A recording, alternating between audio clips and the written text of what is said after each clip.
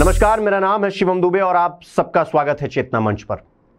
बिहार में कल मुख्यमंत्री नीतीश कुमार की सरकार ने जाति आधारित जनगणना की रिपोर्ट जारी कर दी है। इस साल के शुरुआत से ही जातिगत जनगणना को लेकर बिहार की सियासत में बवाल मचा हुआ था। लेकिन कल बिहार सरकार ने बड़ा फैसला लेते हुए जाति जनगणना को सार्वजनिक कर दिया। इसी के साथ राजद यानी आरजेडी की सियासत के इर्द गिर्द घूमने वाली एम वाई फैक्टर भी सभी लोगों के सामने आ गया। जिसे लेकर अब सियासी गलियारों में भी खूब चर्चा हो रही है। बिहार बीजेपी के तमाम बड़े मंत्री, सांसद एक तरफ़ से एक तरफ़ वो मौजूदा सरकार यानी नीतीश और तेजस्वी की सरकार पर हावी हो गए हैं। आपको बताना चाहेंगे कि बिहार विधानसभा चुनाव और राजद की राजनीतिक कैरियर की जब भी बात उठती है तो सबसे पहले एक समीकरण आता है, वो होता है एम वाई समीकरण। और ये सिर्फ़ बिहार में ही नहीं, उत्तर प्रदेश में भी होता है। एम वाई समीकरण यानी मुस्लिम और यादव। जिसमें एम का मतलब मैंने आपको बताया कि मुस्लिम और वाई का मतलब यादव वोट बैंक। बिहार जाति जनगणना के मुताबिक, इस वक्त राज्य की कुल आबादी तेरह करोड़ सात लाख पच्चीस हज़ार है। रिपोर्ट के मुताबिक प्रदेश में सत्रह दशमलव सात शून्य फ़ीसदी मुसलमान हैं, जिसे संख्या के हिसाब से देखें तो यह आंकड़ा दो करोड़ इकतीस लाख उनचास हज़ार नौ सौ पच्चीस है। वहीं राज्य में यादवों की आबादी चौदह फ़ीसदी है। ऐसे में एम वाई समीकरण को मिला दें तो यह आंकड़ा इकतीस दशमलव सात शून्य फ़ीसदी पहुँच जाता है। लालू परिवार ने इसी वोट बैंक के दम पर बिहार की सियासत में अपना लोहा मनवाया है। करीब पंद्रह सालों तक बिहार की सियासत में लालू यादव ने पिछड़ा वर्ग की राजनीति की है और राजनीति के जानकार बताते हैं कि लालू यादव के बिहार की सियासत में टिके रहने का कारण ही एम वाई समीकरण है।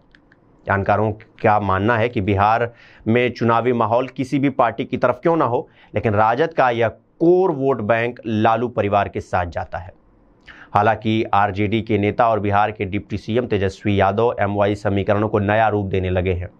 उनका कहना है कि अब एम वाई का मतलब केवल मुस्लिम और यादव ही नहीं रह गया है, बल्कि अब एम वाई में समीकरण में प्रदेश की महिलाएँ और यूथ, यानी युवा वर्ग भी तेज़ी से शामिल हो रहा है।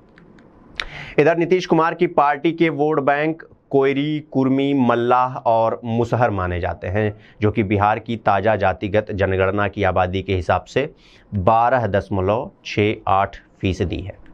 हालाँकि इनमें कोयरी और कुर्मी जाति ही नीतीश कुमार की पार्टी के कोर वोट बैंक हैं। इसके अलावा अन्य जाति बीजेपी को वोट करते हैं। जाति के हिसाब से बिहार की आबादी रिपोर्ट के मुताबिक बिहार में चौदह दशमलव दो छः प्रतिशत यादव, पाँच दशमलव दो फ़ीसदी रविदास, चार दशमलव दो फ़ीसदी कोयरी, तीन दशमलव छः पाँच फ़ीसदी ब्राह्मण, तीन दशमलव चार पाँच फ़ीसदी राजपूत, तीन दशमलव शून्य आठ फ़ीसदी मुसहर दो दशमलव आठ छः फ़ीसदी भूमिहार, दो दशमलव आठ फ़ीसदी कुर्मी, दो दशमलव छः ज़ीरो फ़ीसदी मल्लाह और दो दशमलव थ्री एक फ़ीसदी बनिया। अब आपको बताना चाहेंगे कि बिहार में किस वर्ग में कितनी आबादी है? ये प्रेस कॉन्फ्रेंस के ज़रिए सरकार के अपर मुख्य सचिव विवेक कुमार सिंह ने बताया कि बिहार में पिछड़ा वर्ग सत्ताईस दशमलव एक तीन फ़ीसदी ही है। अत्यंत पिछड़ा वर्ग। थर्टी सिक्स दशमलव शून्य वन परसेंट, सामान्य वर्ग पंद्रह दशमलव पाँच दो परसेंट, अनुसूचित जाति उन्नीस दशमलव छः पाँच फ़ीसदी और अनुसूचित जनजाति एक दशमलव छः आठ फ़ीसदी। साथ ही उन्होंने ये भी बताया कि बिहार की मौजूदा आबादी तेरह करोड़ से अधिक है। इसके अलावा मुख्य सचिव विवेक कुमार सिंह ने कहा कि एक जून 2022 को सर्वदलीय बैठक में बिहार में जाति आधारित गणना कराने के लिए प्रस्ताव को सर्वसम्मति से पारित किया गया था। इसके बाद 2 जून 2022 को राज्य मंत्री परिषद द्वारा किए गए निर्णय के आधार पर राज्य में जातीय जाति आधारित गणना को दो चरणों में फरवरी 2023 तक संपन्न करने का निर्णय लिया गया था। अब आपको हम बताना चाहेंगे कि बिहार की राजनीति में जैसे ही कल जातिगत जनगणना की सूची जारी हुई, राजनीतिक गलियारों में खलबली सी मच गई। भाजपा के जितने मंत्री हैं, जितने सांसद हैं, सब इसको एक धोखा बता रहे हैं। हिंदुओं को बांटने की साजिश बता रहे हैं। उन्होंने वो सब के सब आरोप लगा रहे हैं, बीजेपी के जितने सांसद हैं, मंत्री हैं। उनका ये कहना है कि बिहार सरकार हिंदुओं को बांटने में लगी हुई है। ब्राह्मण यादव छत्री वैश्य शूद्र करने में लगी हुई है। उन्होंने कहा कि अगर मुस्लिम के आंकड़े भी आप बता रहे हैं तो मुस्लिमों में कितनी जातियाँ हैं, उनके भी आंकड़े बताइए। लेकिन बिहार सरकार पर यह आरोप लग रहा है कि मुस्लिम तुष्टिकरण करना बिहार सरकार की आदत है और इसी के दम पर वो सरकार बना रहे हैं। लेकिन अब देश का युवा जाग गया है और वो अब जातियों में नहीं बटेगा। कल से जब से ये आंकड़े ज़ाहिर हुए हैं तब से आरोप प्रत्यारोप का दौर शुरू हुआ है।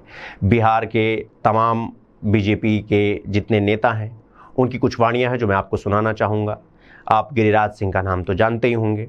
इसके बाद केंद्रीय मंत्री आ, की एक पूरी लिस्ट आ गई जो इसका पूरा खिलाफत करने लगे। तो ये था पूरा मामला। मैं आप लोगों से अभी के लिए विदा चाहूँगा और आप सब अपना बहुत ख्याल रखिए देखते रहिए चेतना मंच। धन्यवाद।